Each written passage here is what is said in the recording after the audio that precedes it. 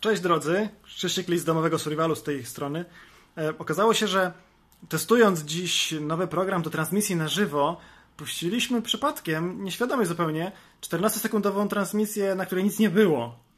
E, no i trochę głupio mi, bo wypadałoby wam to wyjaśnić, co chodziło. No to był taki eksperyment, tam nie miało się nic pokazać wam. E, przygotowujemy się do transmisji na żywo w najbliższy wtorek. We wtorek, y, chyba o godzinie 20, spotkamy się na YouTubie na żywo na kolejnego QA, na którym odpowiemy przede wszystkim na Wasze pytania dotyczące naszej książki, która już się skończyła drukować i będzie niebawem do kupienia y, w księgarniach. Więc jeśli macie jakiekolwiek pytania odnośnie do tej książki, to piszcie je śmiało tutaj w komentarzach pod tym filmem, na Facebooku, gdziekolwiek.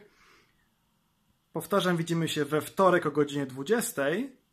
A ja tymczasem życzę Wam miłego wieczora, miłego weekendu i do zobaczenia. Trzymajcie się!